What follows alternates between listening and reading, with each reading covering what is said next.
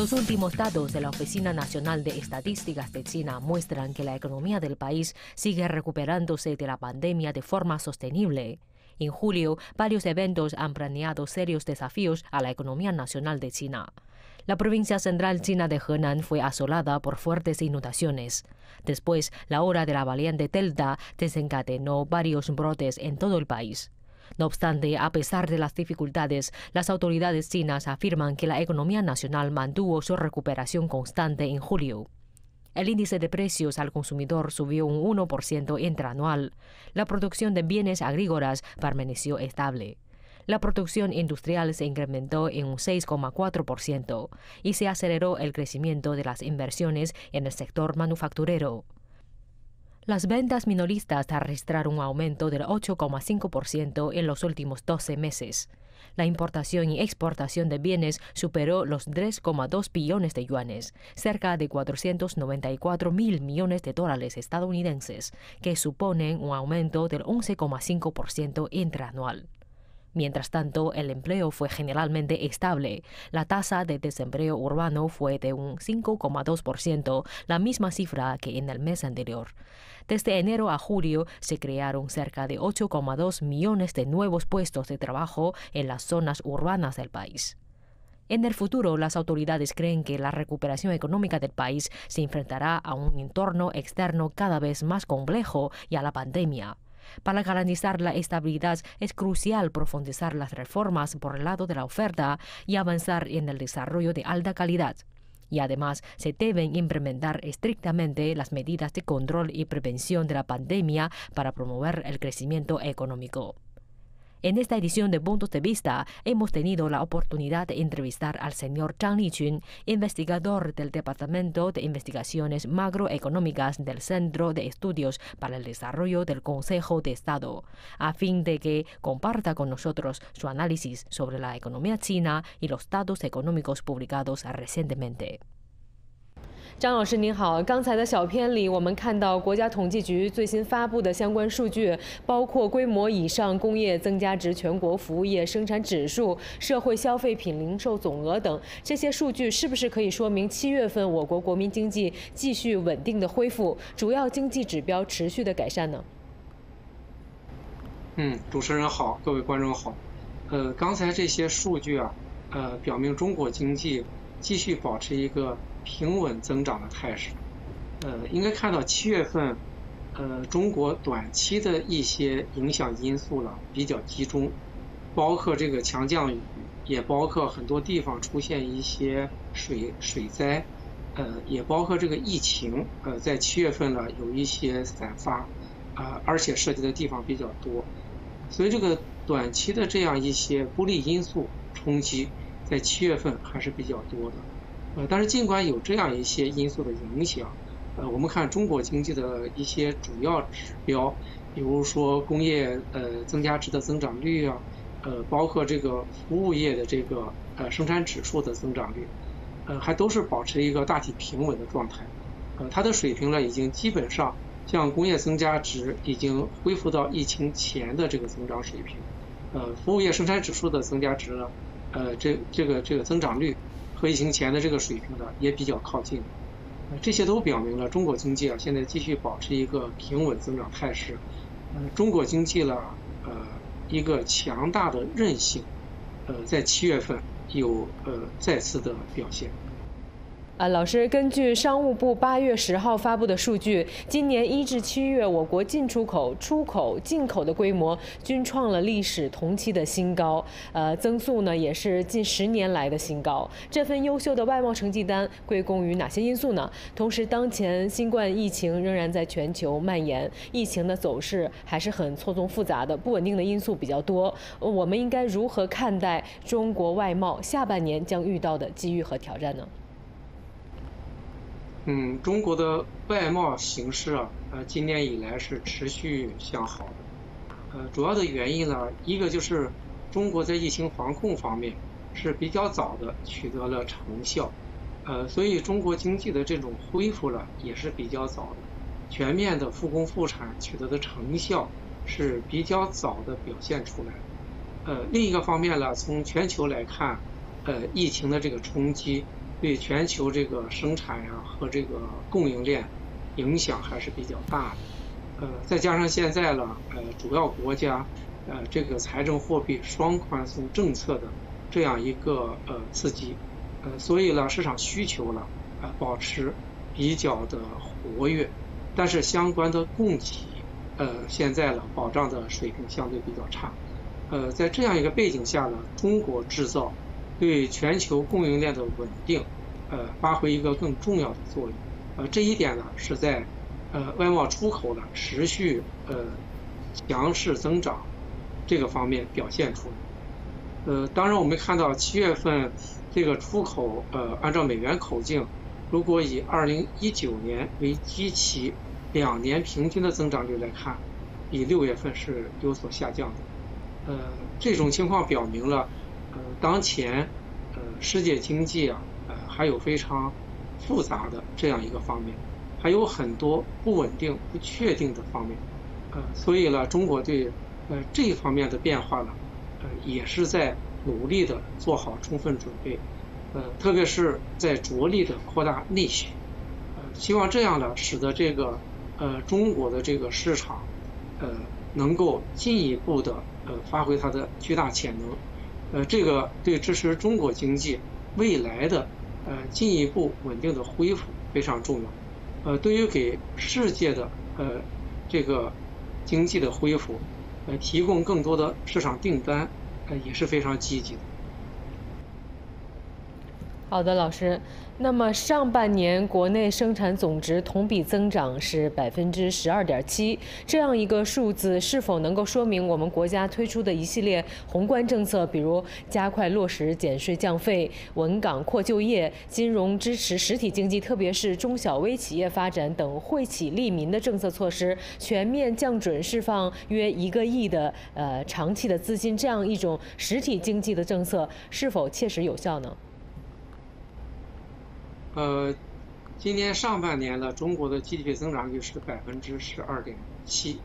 呃，但是应该看到，这个是受到上年呃低基数的不正常影响的一个增长率，因为呃去年第一季度受疫情冲击啊，呃中国这个经济是负增长百分之十六点八，呃，所以呢，在这样一个基础上，今年呃上半年这个 GDP 的同比增长率有很大的不可比性。呃，如果我们看这个以二零一九年为基期的两年平均的增长率，今年上半年是百分之五点三，呃，那这个水平呢，比第一季度呃也是这个同口径的指标百分之五的这样一个两年平均增长率来看，呃，中国经济啊还是保持一个呃平稳回升的这样一个态势，呃，那在这个疫情的严重冲击之下，特别是当前的这个疫情防控的形势。仍然错综复杂的这个形势下，呃，中国经济取得这个成绩啊是非常不容易的，呃，这个也表明中国呃通过呃新中国呃成这个成立以来啊，那么七十多年的这个积累，它所形成的一系列支持经济发展的有利条件，呃，这个潜力还是非常大的，呃，中国经济的韧性呢是强劲的。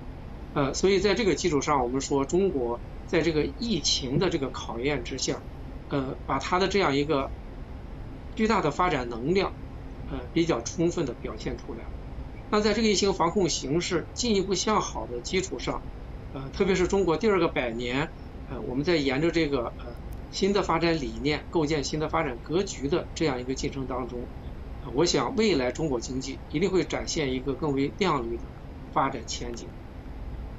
张老师，您提到中国进入第二个百年目标的征程，要有新的发展理念，构建新的发展格局。那么，请您再具体的给我们解读一下，中国经济如何在今年开启新的发展局面？哎，今年呢，其实这个政策呢，就是围绕这三新，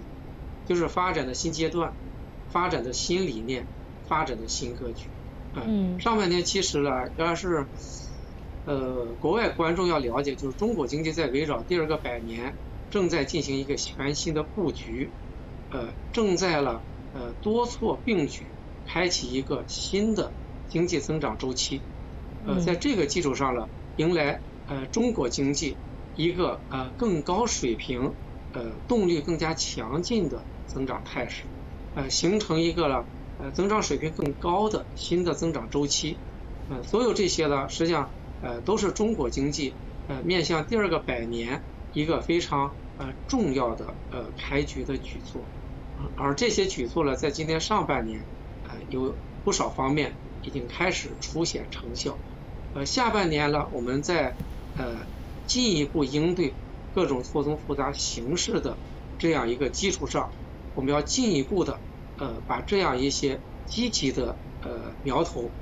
把它扩大，把它巩固，把它加强，呃，所以我想呢，今年呢是中国经济啊，呃，开启一个增长新面貌的一个重要年份，呃，所以呢，今年的中国经济呢，呃，是更值得期待的。呃，上半年我刚才讲就是还是围绕构建新的发展格局是。呃，扩大内需是一个主线，呃，另外呢，这个营商环境呢，它和改革是结合在一起的，呃，通过营商环境的改善，呃，通过政府职能的转变，呃，那么呃，完善企业发展的环境，呃，那么进一步激发企业的活力，呃，围绕这一点呢，实际上我们从二零二零年就是呃留得青山，就是把这个企业让它活下来。有很多呃应急性的支持措施，呃，包括了呃一些贷款的展期啊，呃，也包括了呃一些财政的补贴，呃，还有了减税降费的力度在加大等等，呃，这个多个措施是希望呃我们这个市场主体能够更多的在这个困难的形势下存活下来，所以呢，呃，留得青山才能赢得未来。那今年了，我们这样一些呃应急性的救助政策，呃，它也是进一步的在保持。我们说政策不急转弯，也就是说，要是今年形势的变化，呃，是企业生存状态的变化，呃，这些政策呢稳步的做调整。呃，今年上半年呢，呃，由于我们整个这个企业的呃这个形势啊。仍然有比较困难的这一个方面，呃，所以今年上半年呢，相关的呃支持企业的这些政策，呃，大多数还是稳定保持的，呃，没有做呃很大的调整，呃，这些呢，对于我们这个企业，特别是小微企业能够存活，呃，发挥了非常重要的作用，啊，而这个小微企业的这些呃存活，对于就业。也发挥了一些非常呃基础性的支持，嗯，所有这些呢，实际上都是今年上半年我们在六保这个方面啊能够取得呃预期成效的一些重要原因。呃，中共中央政治局七月三十号召开了会议，分析研究当前的经济形势，部署下半年的经济工作。那么这个会议又释放了怎样的信号呢？请您给我们解读一下。呃，七月三十号的政治局会议呢，首先肯定了今年上半年中国经济所取得的成绩，呃，特别指出这些成绩呢是来之不易的，呃，同时也特别指出来，呃，中国经济进一步的呃发展，呃，仍然存在着呃不平衡、呃不稳固等等这样一些隐忧，呃，所以呢，它还是着眼于呃。底线思维，呃，着眼于呃发现问题，着眼于更多的考虑一系列的呃不稳定、不确定因素，呃，来提出下半年的政策。呃，下面的政策最重要的呢，就是这个宏观政策跨周期调节。呃，跨周期调节，我想最重要的就是，呃，中国在第一个百年，呃，我们在二零一零年以后，经济。增长是经历了一个下行的周期，呃，那这个周期一直持续到“十三五”末，呃，这个之后呢就叠加了疫情的冲击，呃，那这个“十四五”呢是中国第二个百年的一个新的开局，所以面向这个新的开局了，按照呃呃中共中央呃和中国政府的安排，呃，我们要加快构建新的发展格局，要开启第二个百年的一个呃。宏伟篇章，所以在这个基础上呢，呃，宏观政策跨周期调节，我想呢，还是要着力围绕构建新的发展格局，呃，着力扩大内需，挖掘国内市场潜力，把各个方面的这个工作进一步的做实，呃，在这个基础上呢，把中国经济呃厚重的呃发展潜力和一系列的有利条件更充分的释放出来，从而实现中国经济呃一个新的增长周期的开启。中国在现代化发展的路上非常重视环保，也就是坚持绿色发展的理念。在您看来，中国在未来如何在这一方面向更高的水平去发展呢？呃，中国现在 GDP 总量已经超过一百万亿人民币，这个规模上的经济活动对生态环境的影响已经不能够低估。呃，所以第二个百年，中国要实实现更高水平的发展，更大规模的发展。就必须要把这样一个呃排放的呃这样一个活动，呃经济活动呃对生态环境影响的呃这样一些呃因素，要努力的加以控制。呃，所以呢，呃面向第二个百年的目标，呃中国政府把这个绿色发展现在是放在一个非常重要的位置，包括这个碳达峰啊、碳中和等，呃都已经。对国际社会做出了郑重的承诺，啊，但是在这些方面呢，中国，呃，还是要在两个方面，呃，做出努力。一个方面呢，我们要控制，呃，各种污染物的排放，呃，包括了控制碳排放。另一个方面呢，我们要实现发展，要进一步的更高水平的发展，啊，只有这两个方面更好的结合起来，啊，那么中国在第二个百年。才能够实现了，呃，中国人民，呃，更高水平的文明和进步，也才能够实现了，呃，中国和世界一个更高水平的融合。在这个基础上呢，我想从当前来看了，呃，中国政府也是在沿着两个方面在下功夫。一个方面，我们怎么发展的质量更高一些，发展的步伐更快一些；另一个方面呢，就是。发展所形成的呃各种排放，怎么样能够得到更有效的控制？呃，在这些方面呢，比如说我们通过这个呃技术进步的方式呀，呃，通过这个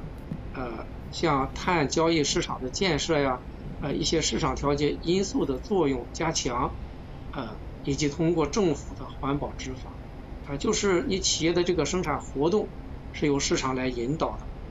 但是生产活动。所形成的排放，啊，这个是政府在检查的，啊，围绕这个排放标准的科学制定，呃，围绕这个排放活动的这样一个呃更严格的，呃更及时的监测，呃，努力的呢，呃，促使企业，啊，向着一个绿色发展方向加快转型，呃，这些方面呢，应该说，呃，任务是非常艰巨，呃，要走好这个绿色发展的路。是非常不容易的，啊！但是中国政府和中国人民呢，啊，正在充满信心、坚定不移的在这个方面在迈开步伐，啊，在扎扎实实的一步一步的向前走。发展高新技术产业是中国经济高质量发展的关键一环。您是如何评价中国企业在这方面所面临的挑战？呃，高新技术产业的发展呢？呃，也是中国现在产业升级的一个呃主要方向。呃，这样一个升级活动呢，呃，今年表现的更为活跃。第一个是市场的因素在推动。呃，中国现在总体来看了，还是受到市场需求不足的制约。所以企业呢，呃，为了在市场竞争当中，呃，能够脱颖而出，在质量、效益。呃，在这个技术创新这些方面，啊，正在做出更大的努力。这些努力呢，也就收到了呃更为积极的成效。另一方面，从中国政府来看了，呃，在推动企业呃技术创新这个方面，也有呃越来越多的呃支持政策。呃，另外呢，对于呃我们这样一个呃创新的环境的。改善，呃，相关的改革也是在呃不断的深化，所有这些因素呢组合起来，都表现为中国这个高新技术产业这个发展，在整个呃工业增长当中，呃表现得更加亮丽，呃增长水平比整个工业增长水平要更高，呃那么呃取得的亮点要更多等等，我想这个还是非常可喜的。当然中国政府现在也在尽呃尽力了做好另外一个方面，就是了要有呃一些更好的企业。不断的脱颖而出，也要有更多的企业能够了保持良好的生产经营状态。啊，这两个方面结合起来，就是说，我们既要有一个足够的规模来支持我们的就业，来保障我们的民生，也要有一些呃更亮丽的呃更核心的呃一些生产力呃发展起来。那这两个方面呢，更好的结合之后呢，啊，就是我们讲的这个中国经济啊，要进一步的转向高质量发展，也要进一步的呃扩大经济的规模，来保障十几亿中国人呃对现代化的这样一个呃美好生活需求更充分的满足。在疫情的冲击下，我国的文化及相关产业受到了很大的影响。张老师，请您为我们分析一下文化及相关产业与中国走出一条新型经济化道路有着怎样的联系呢？呃，中国现在这个发展啊，总体还是处在呃加快推进工业化的阶段。呃，所以呢，呃，中国政府现在很明确，就是说，呃，我们要把这个新兴工业化、新兴信息化紧密结合起来。呃，走出一条新型工业化道路。新型工业化道路表明了中国现阶段的发展，产业的主体还是实体经济为主，还是制造业，特别是呃高新技术产业为主。呃，只有这些方面我们做得更好，才能够充分满足十几亿中国人民日益增长的美好生活的需求，才能够把我们现代化的。城市体系、现代化的基础设施体系、现代化的公共服务保障体系、现代化的产业体系，全面的高水平建立起来。呃，当然，在这个过程当中，我们要把实体经济发展和这个服务业，呃，和这个第三产业发展更好的结合起来。所以这就涉及到刚才讲到的文化呀、呃，娱乐呀。呃，包括这个呃教育啊、培训啊等等多个方面，呃这些方面的发展呢，它要和实体经济的发展紧密结合起来，要有利于实体经济发展，要要形成相互呃良性推动的关系，就是通过呃制造业和实体经济呃更高质量的发展，来为这个呃服务业、为各种文化等等的这个产业呃提供。更有力的支持，也要通过呃服务业，呃包括这个文化、娱乐等等这产业发展，为这个实体经济、制造业的呃高质量发展提供更有力的支持。中国与拉美国家的经济发展经历了一个黄金十年，您认为如今在全球化的背景下，中国的经济发展将会给拉美国家带去怎样的机遇呢？中国和发展中国家呢有非常紧密的经济联系，呃，特别是在这个资源的合作方面，呃，包括矿产资源呀、原油啊等等这些资源，呃，实际上也包括了呃产业、呃技术、市场呃多个方面的紧密联系。中国未来这个发展是向着一个呃更高的质量和更大的规模呃来前进。呃，所以在这个发展过程当中，对发展中国家，比如像拉美国家，它会形成更大的这个需求方面的呃这样一个拉动。我想呢，这个对于拉美国家的这个经济发展呢，呃，是一个非常积极的因素。呃，当然，中国这个发展呢，呃，从呃产业的关联呀，呃技术的关联呀，也会呃和拉美国家之间呃形成。呃，更深层面的互动，呃，所有这些呢，我想，呃，都会形成相互经济的良性推动。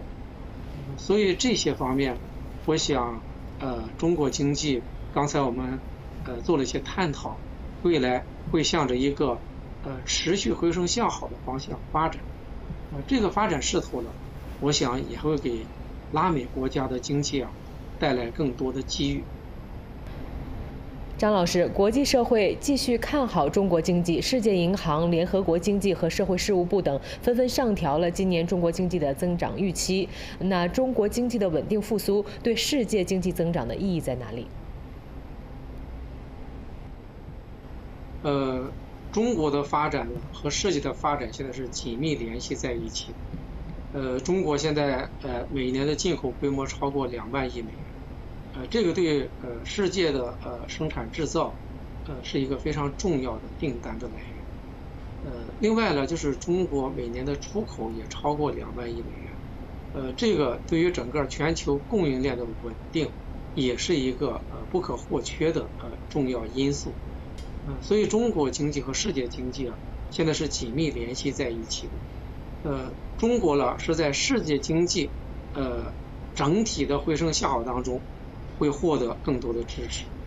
而世界经济呢，在中国经济的呃回升向好当中，也会受到重要的拉动，呃，所以从这个角度来看呢，中国经济和世界经济啊，呃，它是呃有着紧密的呃荣辱与共的这个关系，呃，刚才我们看到了中国经济啊，呃七月份的一些主要指标，呃，这些指标呢，一个方面，呃，使我们呢坚定。呃，对中国经济啊进一步恢复的信心。呃，另一方面也看到啊，呃，确实由于短期因素啊，呃等等的影响，呃，中国经济七月份的数据呢和六月份和上半年相比，啊是有一个回落、一个下降的态势。呃，当前有一些呃国际的这个经济分析人士呢，对这个呢是有担心的，呃，就觉得中国经济啊，呃，它的这个增长势能在减弱。呃，所以对中国经济给世界经济带来的拉动作用呢，啊，不能有过高的期望。呃，下半年呢，尤其是呢，呃，不要预期过高。我想这一点呢，可能还需要再观察。呃，刚才我们谈到七月三十号，呃，这个中央政治局的这个会议，呃，实际上它也在围绕呃解决当前的一些突出问题，在做安排，在做布局。嗯，所提出的政策。比如，呃，宏观政策跨周期调节，比如积极的财政政策要进一步的呃提高呃效率，呃，比如说呃要在呃一些重大工程建设项目这个方面，呃，在这个地方政府专项债这个呃发行啊等等这些方面，呃，最后呢，它要见到实效，就是在今年底和明年初要形成实物工作量，所以这个呢都表明啊。呃，我们对于呃扩大内需，呃进一步的呃挖掘中国经济增长潜力，呃这一方面政策效果的要求是显著提高的，啊而且政策的针对性是进一步加强的，啊在这个基础上，我想一些短期因素所导致的啊中国经济一些指标的回落，啊不必过于担心。呃，对中国经济在今年，呃，持续回升向好的这样一个前景，呃，仍然要保持信心。所以在这个基础上，我想中国经济了，呃，它在今年，包括在整个“十四五”期间，它的一个呃持续向好的发展态势，这是一个非常重要、非常积极的因素。啊，所以我们呃应该呃做一个综合判断，就是“十四五”期间的中国经济发展。必将对世界经济发展做出更大的贡献。好的，张老师，谢谢您的分析，也感谢您参与我们的试点节目。谢谢主持人，也感谢大家的收看，谢谢。